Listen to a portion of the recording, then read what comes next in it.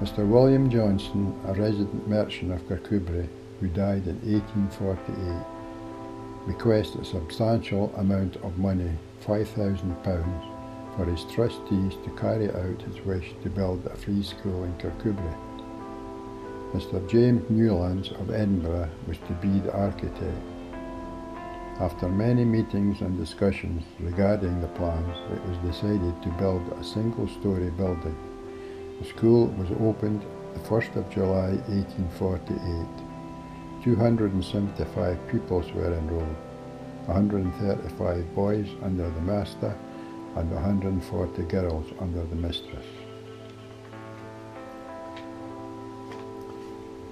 In 1933, the Education Authority demolished most of the building, which was hopelessly out of date, and at the cost of £8,000 rebuilt the school, retaining a lot of the original features to preserve the appearance of the building.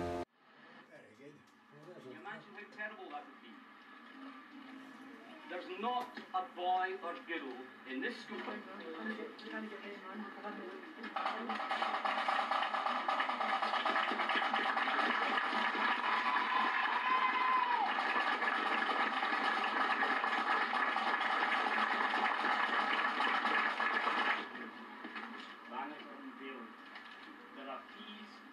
Have one more great round of applause.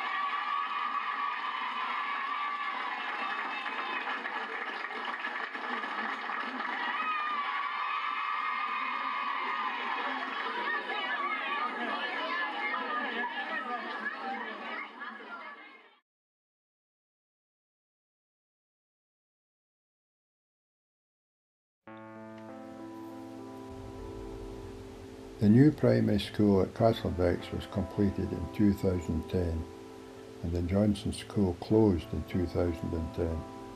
After sitting empty for a number of years, Kirkcudbright Development Trust, with the help of Andrew Ward at the Creetown Initiative, started assembling plans to renovate the building and make it a useful community asset.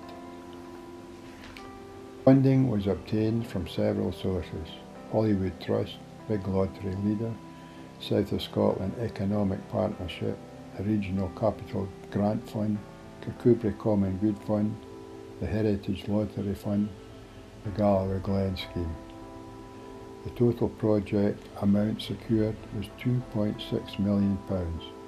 The completed building houses Dark Skies Visitor Centre and Planetarium, a gin distillery, a pottery room, a nursery, a youth drop-in centre, a community room, Kirkcudbright Development Trust offices, and Kirkcudbright Summer Festivities Storage Facility.